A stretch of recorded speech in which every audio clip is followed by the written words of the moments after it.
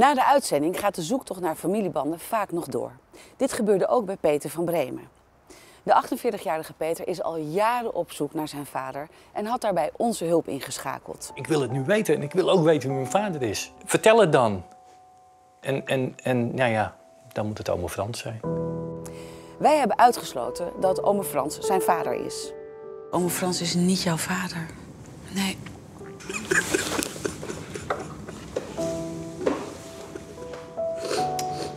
Maar na de uitzending werd er contact opgenomen met hem door familie van ene Jan Wiersma.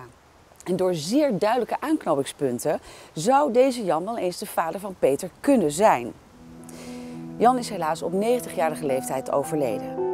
Maar met behulp van het DNA van zijn kleinzoon Hans is er een test gedaan. En de uitslag zit in deze envelop en die ga ik nu naar Peter brengen.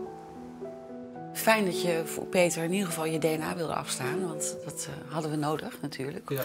Heb je ooit iets gehoord over überhaupt het bestaan van Peter? En, nou, pas op latere leeftijd zeg maar, heb ik wat gehoord over de verhouding die mijn grootvader eh, met Peters moeder had. Ja. Ik kende die man ook, maar nooit bij nagedacht dat dat mijn mogelijke vader zou zijn. Want daar heeft je moeder ook nooit wat over gezegd. Nee, nee, nee.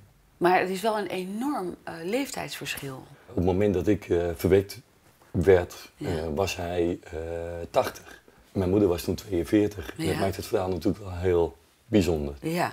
Zal ik de envelop maar open gaan En maken? dat lijkt me een goed plan. Ja? absoluut. Oké. Ja. Peter, hier komt de uitslag. Lieve Peter, de DNA-test heeft aangetoond dat er geen verwantschap is tussen jou en Hans. Oké. Oké. Dit betekent dat Jan dus niet jouw vader kan zijn. Ja, dat is. eh, de, eh, ik, ik, ik weet even niet wat ik moet, eh, moet denken. Gaat het? Ja. Ik, eh, Jouw moeder leeft niet nog. anders. Mijn moeder leeft nog en mijn moeder heeft eh, een aantal keren aangegeven dat ze het niet gaat zeggen. Dat ze het vertikt te zeggen. Ga je nog wel naar haar terug nu? Ik weet het niet. Misschien wil ik haar een brief sturen. Ja. Ja, misschien dat er nu, eh naar aanleiding van dit item, eh, iemand opstaat die zegt van... hé, hey, ik ken het verhaal, maar het moet kloppen. Ja.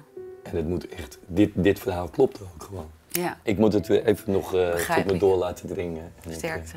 dankjewel. Jullie weten ons te vinden. Absoluut.